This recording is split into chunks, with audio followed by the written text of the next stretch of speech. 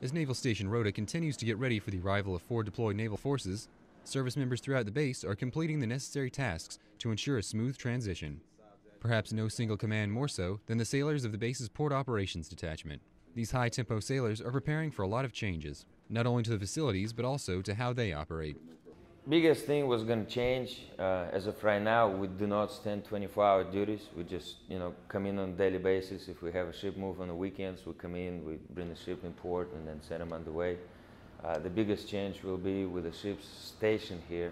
We're going to have to have personnel on station 24/7 in case they need some kind of response, i.e., oil or fuel spill. But these sailors are not discouraged by the challenges ahead. Yeah, it's, it's, a challenge. Just trying to stay ahead and making sure everything is going to be on station on time and ready, available for whenever the ships need them. I'm looking forward to the change. I think it'll be a good, it's a good idea that uh, four destroyers are going to be permanently deployed here uh, and have a presence out here in the Med. But before that day arrives, these sailors will keep busy to ensure that the new ships feel right at home. Petty Officer Andrew Smith, Rota, Spain.